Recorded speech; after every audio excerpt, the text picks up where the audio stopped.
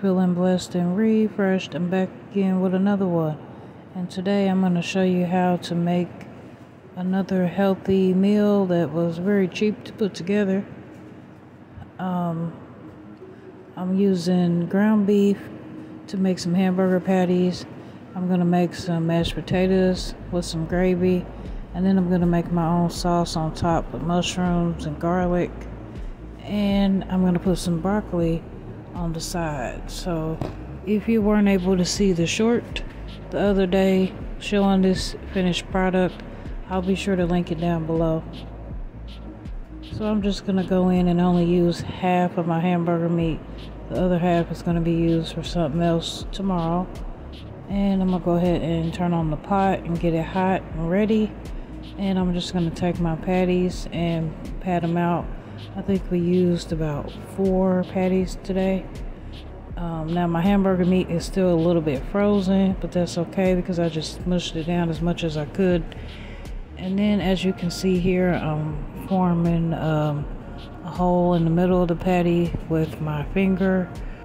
That just helps to keep the shape of the hamburger as it cooks because if you know as you know um, hamburger meat does shrink as it cooks so that's just a little tip for y'all use your finger put a hole in the middle of the meat and it won't shrink so like I said I'm not really sure what to call this but this is a healthy, cheap alternative to fast food or even to some meals that we might make at home that aren't 100% um, healthy. I know myself, I'm working on not eating so much pork, but sometimes I just do. Um, but it's always best to use less salt when you're cooking and use like um, pepper or garlic powder or onion powder to bring out the other flavors um, in your meal. So as I'm patting out these patties, I'm just going to get into how much each thing that I'm using today cost me. Everything was purchased at Walmart. That whole roll of hamburger that meat that you saw there was about $11.52. And like I said, I'm only going to use half for this meal. The other half will probably be used for chili later in the week.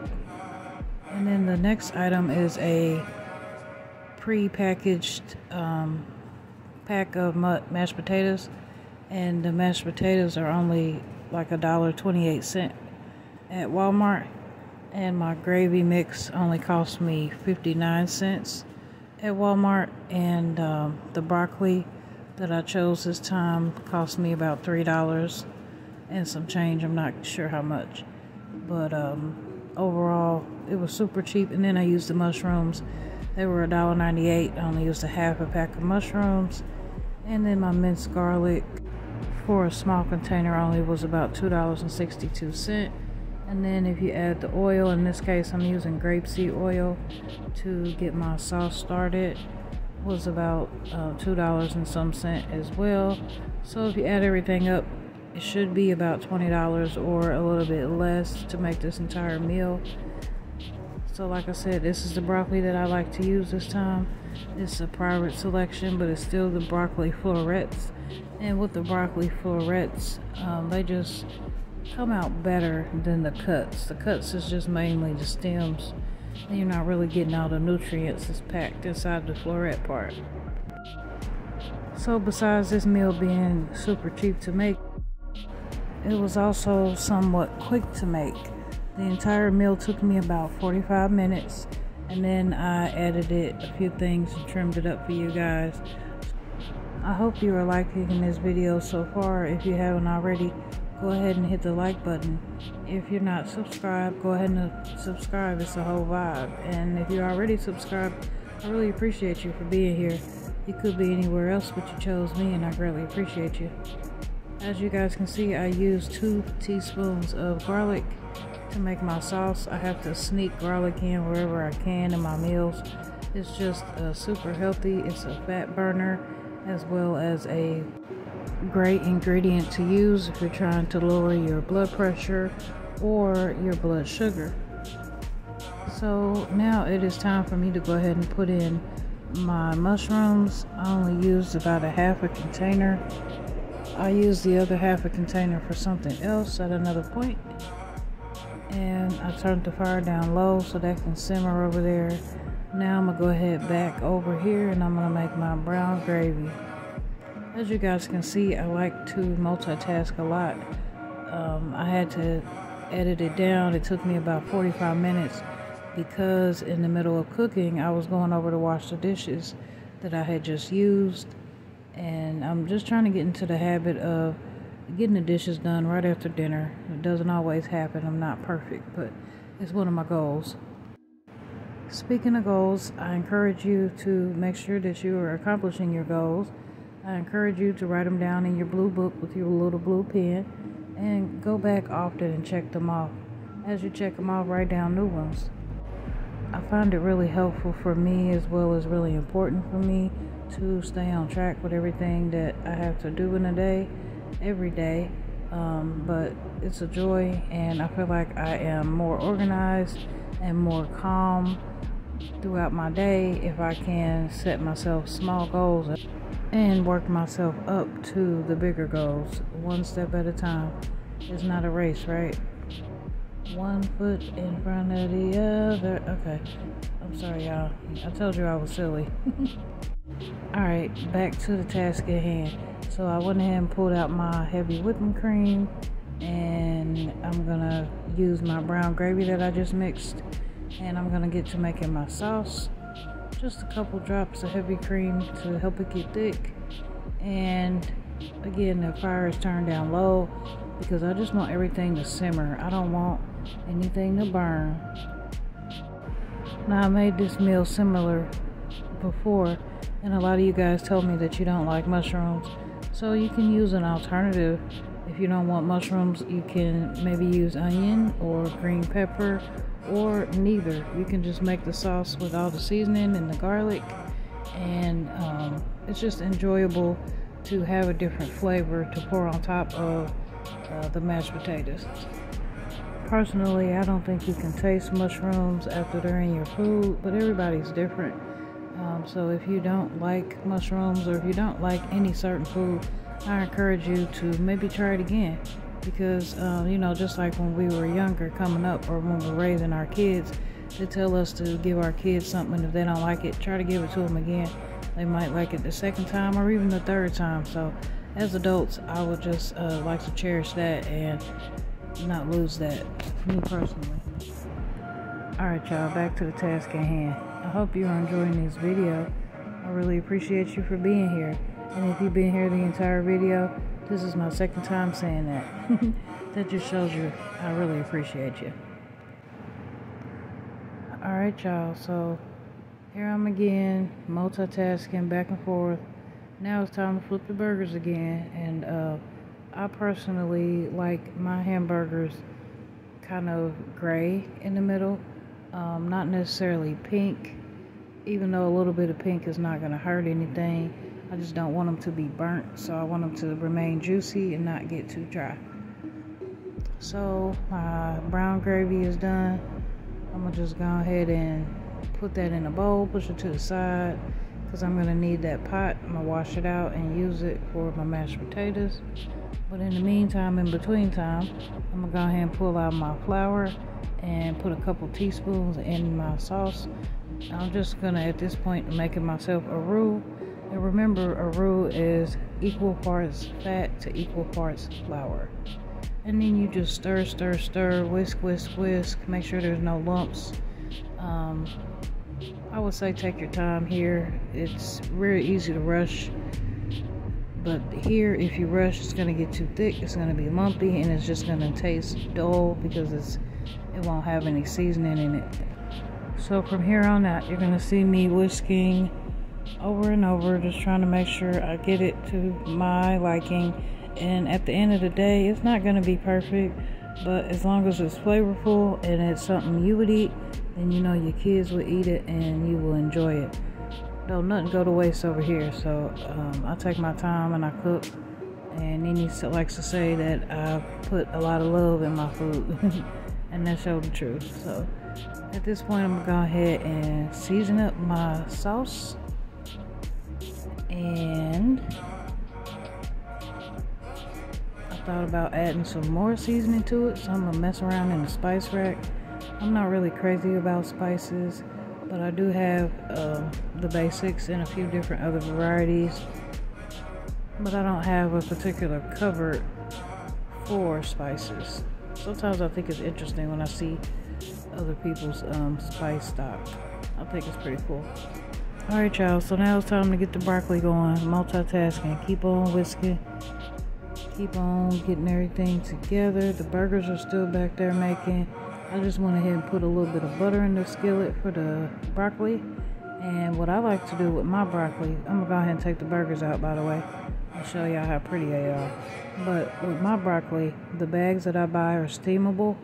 So I like to take that bag and I like to throw it in the microwave for about four minutes, maybe five minutes just to soften it up because I'll take it right out the freezer. And once it's softened up, then I'm ready to bring it over and um, put it in my melted butter, give it a little seasoning and stuff, and uh, cover it up and let it steam a little bit more. It comes out super flavorful. So that's just another tip for you. If you don't already, comment down below. Let me know how do you uh, make your broccoli. Do you ever put it in the microwave and then put it in the skillet? Do you just put it in the microwave and put it in a bowl and it's done? I've done it both ways. And when I make my broccoli this way, I like to call it steamed broccoli. That's just because later on you're going to see me add a little bit oil to my broccoli. That's just so that it um, so that it fries up nicely and gives it a little bit of a crunch. I think I just said steamed broccoli, but I didn't mean to. I meant to say fried broccoli. Hey now, hey, look at you. You're still there. I see you. Now go on back out to the premiere. Hit the like button. Come on back in. Y'all, I've been looking at my accomplishments and I am so super excited to continue to make content for y'all. I have so much to store and I can't wait. Okay, that's enough talking. Let's hop back in this thing. so you see me with my um complete seasoning, right? I just wanted to add a little bit of that to my sauce. Now, keep in mind that as you're cooking, you might want to taste your food to make sure it's good to whoever you're serving it to as well. I wouldn't say use the serving spoons. Um, I like to, you'll probably see me stick my finger in my sauce or use a spoon to taste it and make sure it's good. And that's just because, like I said, I'm washing dishes in between. I like a little bleach in my dishwater. So, so everything's good, good over here. Alright y'all, look at that broccoli. Don't it just look so delicious? I love me some broccoli. I'm gonna go ahead and season it up like I said. A little salt, a little pepper. I barely use salt. A little garlic powder. Simple as that. This is what you call fried broccoli. This is what I call fried broccoli. And then add a little bit more butter. I'm steady saying butter. In this case, I'm cooking with margarine. I just think that butter is more expensive. I do use butter when I make cakes, but I use margarine for everyday cooking. I think really your seasoning is what really um, brings out the flavor, not necessarily butter versus margarine. Comment down below. Let me know what y'all think. And as always, don't forget to comment down below and let me know that you were here after the premiere. The live chat doesn't always save and I just greatly appreciate the comments. And I really enjoy engaging with y'all so please please please leave me a comment after premiere's over. Alright so we got the top on that thing. We turn it down a little bit so it can simmer and not burn. There I go again messing with the dishes. I feel another edit coming up it's worth it y'all believe me when I get going it ain't no stopping for me. I like to get it done, get it out the way. Because when I sit down, it's over. So I encourage you to do the same. Don't put it off to the till later. You know, you could do it now. Especially if you are a mom, stay-at-home mom like me. You don't want to go and sit down after dinner and then maybe fall asleep because you've been so full like me and then wake up and come and see a whole, uh, you know, sink full of dishes. And, you know, it's really frustrating. I know from experience. I'm working on me and I'm trying to encourage you to work on you too. In the meantime, in between time, look at that sauce, y'all. Did y'all see that? It came out all right. It was all right. All right, so now I'm gonna do a little switcheroo with the pots and get the mashed potatoes going. Now, I do like to make fresh homemade mashed potatoes as well with a bag of potatoes and the butter.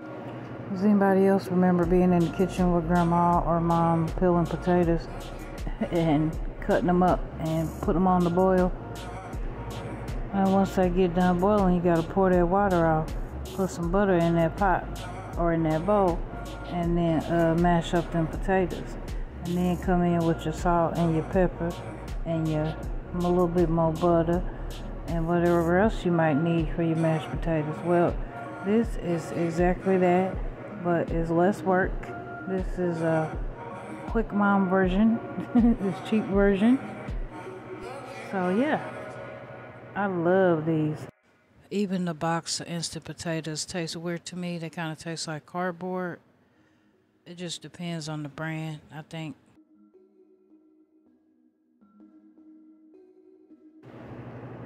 So anywho, back to the task at hand. I got a little bit more butter in there. I'm gonna go in with my salt and my pepper. Just a little bit.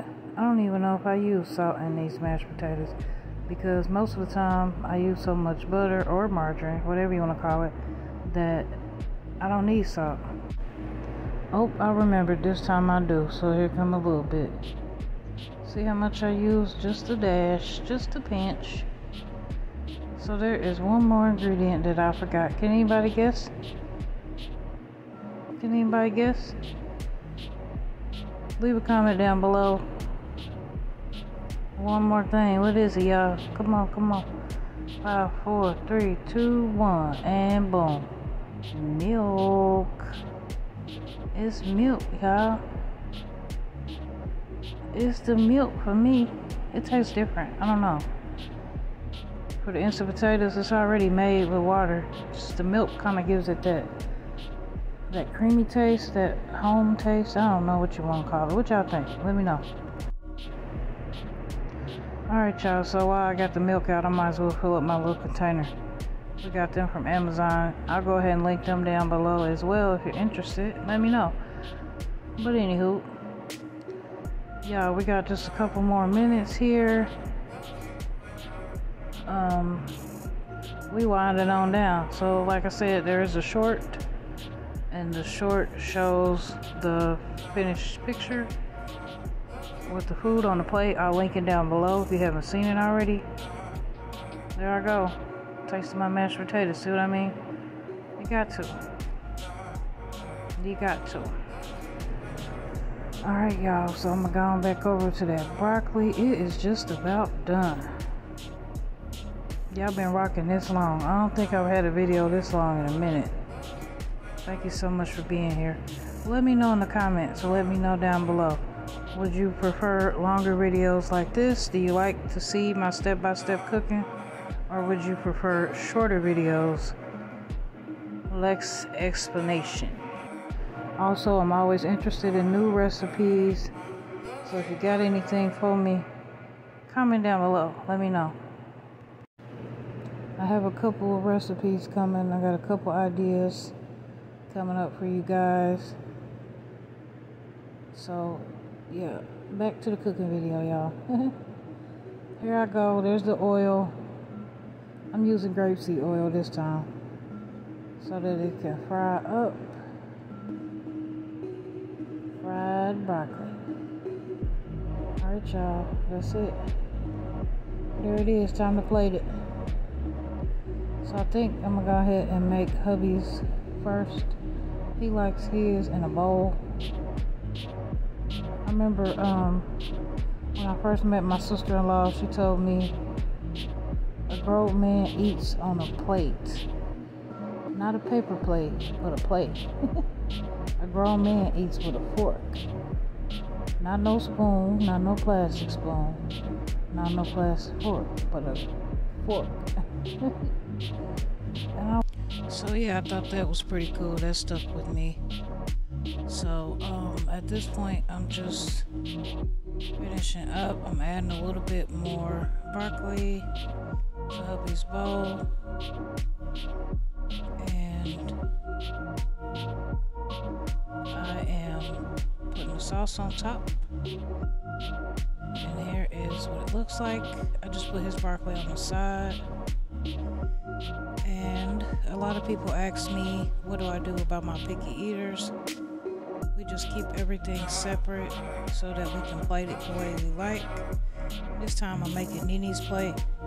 And she wanted the mashed potatoes and the broccoli on the side with just a hamburger patty with a little barbecue sauce on top with no bread.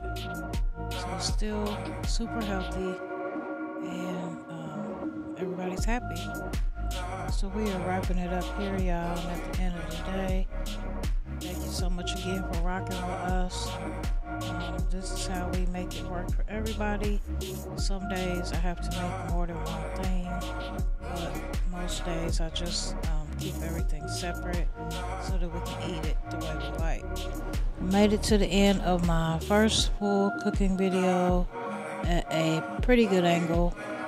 There's Nini's plate. Doesn't that look tasty? Um, so yeah, y'all. I hope you enjoyed this voiceover. If you have any suggestions, anything you want to see more of, please comment down below. And y'all, this meal was so good. It was fire. Just let me be the one to tell you. You could do it. I see I went back with a little brown gravy and put it on top too. But you can do it, you guys. I really appreciate you. You have a great day. And remember, be true to yourself because if you can't be true to yourself, you can't be true to nobody else. Bye bye.